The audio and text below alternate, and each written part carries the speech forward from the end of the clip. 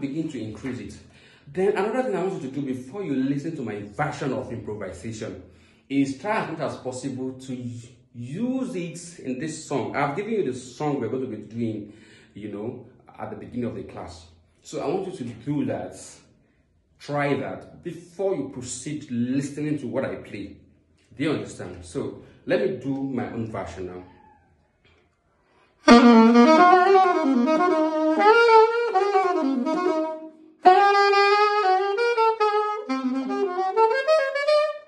You know? Now, you can see that I caught something out of the phrase. Now, if you are phrasing sometimes, you might not necessarily have to play the whole phrase. So now listen to the way I'm going to play it. I'm going to play the full phrase now. So.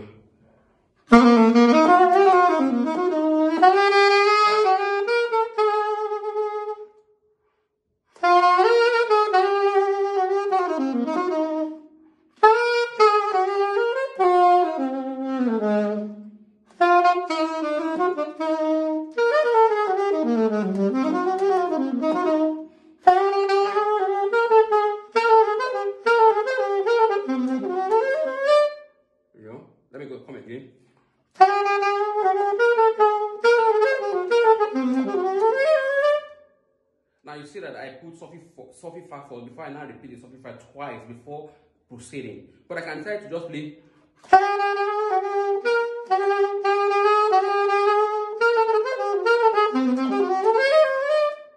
You know, sometimes I, I play that to create a balance for myself.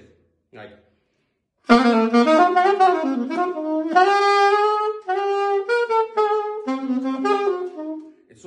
now you see, I'm trying to create a balance for myself. However, it still goes, but then I am targeting playing the complete phrase. You know.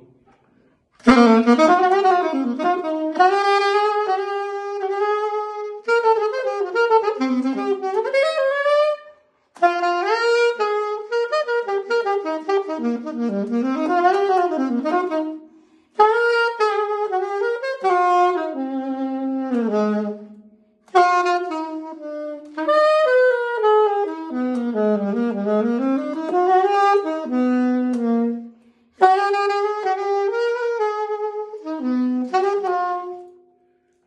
so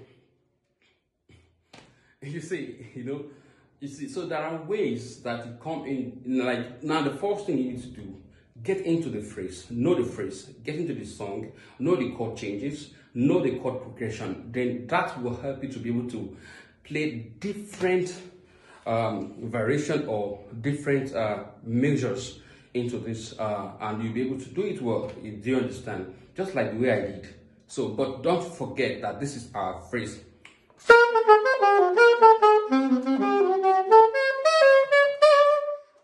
You know, so but I think I listened to some of those um, uh, phrase. Um, some people when they play the song, they play it this way.